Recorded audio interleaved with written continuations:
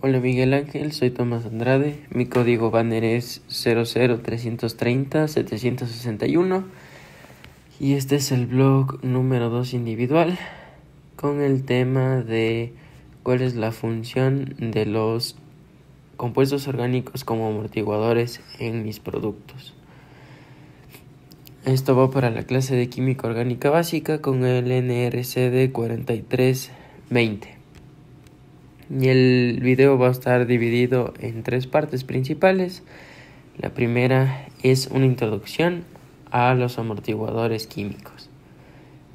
¿Qué es un amortiguador químico? Un amortiguador químico, también conocido como buffer, es una solución que puede resistir cambios en el pH cuando se le agregan ácidos o bases. Los amortiguadores son importantes porque pueden prevenir cambios drásticos en el valor del pH o nivel, lo que puede ser perjudicial para muchos procesos biológicos y químicos. Los amortiguadores se componen de un ácido débil y su base conjugada, o por el contrario de una base débil y su ácido conjugado. Estas soluciones pueden neutralizar tanto ácidos como bases, lo que les permite mantener el pH de una solución en un nivel estable. Las soluciones buffer son utilizadas en muchos procesos biológicos y químicos, incluyendo la producción de alimentos, la fabricación de productos farmacéuticos, la investigación científica, entre otros. Algunas características importantes de los amortiguadores químicos son las siguientes. La primera es la capacidad de amortiguación.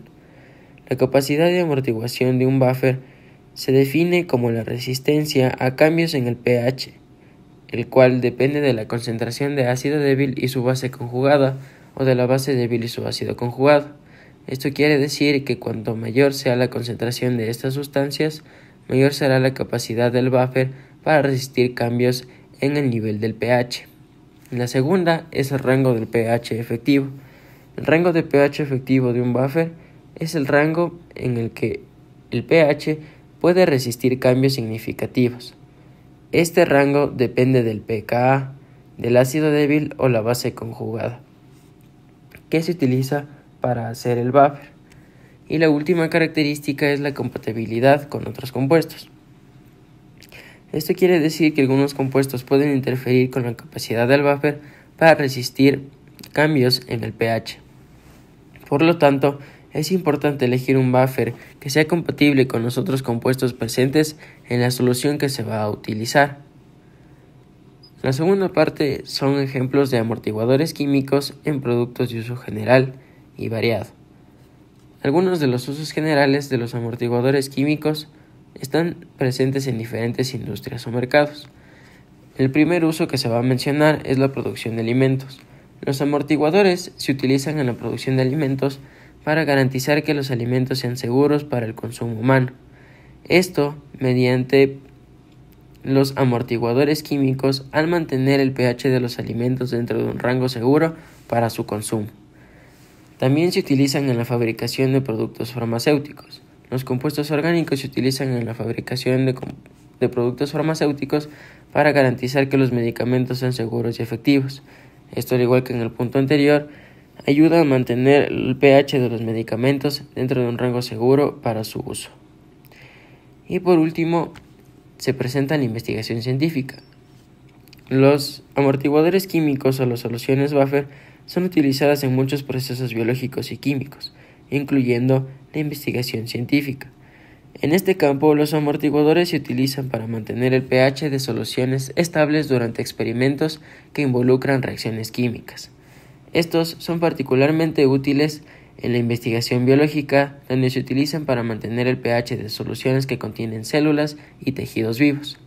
Además, estos también pueden ser utilizados en técnicas más específicas como la cromatografía líquida y la electroforesis de ADN, esto para separar y analizar moléculas biológicas como proteínas y ácidos nucleicos. El tercer punto son los ejemplos de amortiguadores en productos de uso cotidiano. Algunos de los usos cotidianos de los amortiguadores químicos son, como ya se mencionó, los productos farmacéuticos. Otro punto son los alimentos. Y otro punto que no se mencionó son los productos cosméticos. En este campo, los compuestos orgánicos como amortiguadores se utilizan en la producción de estos como shampoos, cremas, hidratantes y otros, ya que estos ayudan a mantener el pH dentro de un rango seguro para su uso. Además, también se presentan en productos de limpieza del hogar. Estos también se utilizan como en, productos detergentes y limpiadores multiusos. Y el último punto que también es importante es un ejemplo de los amortiguadores químicos en productos de limpieza de uso cotidiano y los amortiguadores dentro de mi carrera. El primer punto de productos de limpieza se puede encontrar agentes amortiguadores dentro del detergente Tide, el cual es una marca popular de detergentes para la ropa que contiene amortiguadores químicos. También se presenta en el limpiador multiusos Lysol, cual es una marca popular de limpiador multiusos que contiene amortiguadores. Y por último, el limpiador multiusos Mr. Clean. Ahora, con respecto a los amortiguadores en mi carrera, yo he podido utilizarlos en la materia de biología molecular, en donde he practicado la técnica de electroforesis de ADN, en los cuales eh, los amortiguadores químicos se utilizan para mantener el pH de una solución estable y esto hace que se prevengan cambios drásticos que puedan afectar la migración de las moléculas de ADN. En este caso, la electroforesis se utilizó para comprobar la concentración y calidad del ADN extraído. Eh, los amortiguadores más comunes utilizados en electroforesis de ADN son el TAE, trisacetato ETA y TBE, trisborato ETA. Estos amortiguadores contienen iones que pueden neutralizar los ácidos y bases que se producen durante la electroforesis, lo que ayuda a mantener el pH de la solución dentro de un rango seguro para su uso. Gracias.